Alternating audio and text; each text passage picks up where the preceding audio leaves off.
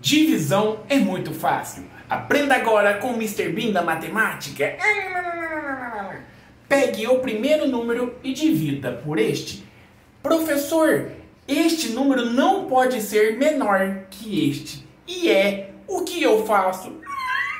Pule uma casinha e pegue o número formado com dois algarismos. Uau! 22. Dá para dividir por 3? Qual número que eu multiplico por 3 que o resultado é igual a 22 ou um pouquinho menor? Hum, 7. 7 vezes 3 é 21.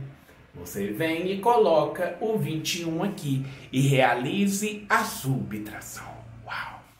22 menos 21, 1. Abaixe o próximo número. Abaixe o 3.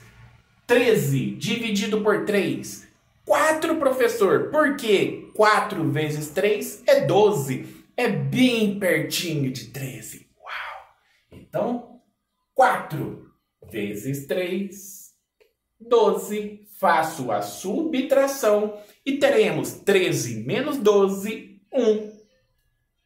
Abaixe o próximo número e teremos o 15 dividido por 3. Agora dá exato, professor, porque 5 vezes 3 é 15. Então, 5 vezes 3 é 15. 15 menos 15, 0. Não tem mais nenhum número para descer e o resto é zero. Isto significa que esta divisão é exata. Portanto, 2.235 dividido por 3 é igual a 745.